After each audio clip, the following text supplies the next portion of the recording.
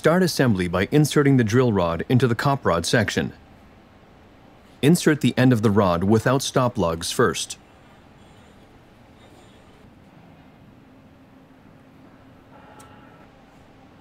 Grease the thread of the end piece and thread it onto the section.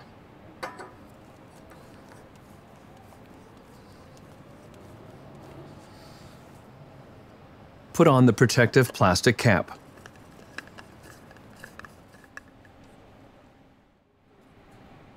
Disassembly begins by removing the yellow plastic cap.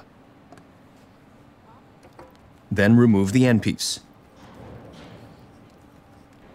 Pull out the drill rod. Inside the tube, there is a guide tube which holds the rod in the right position. The guide tube has channels that distribute air to the COPROD head and bit. This guide tube should be undamaged so as to ensure free flow of air through the tube. The tube must be replaced if the guide tube is severely damaged.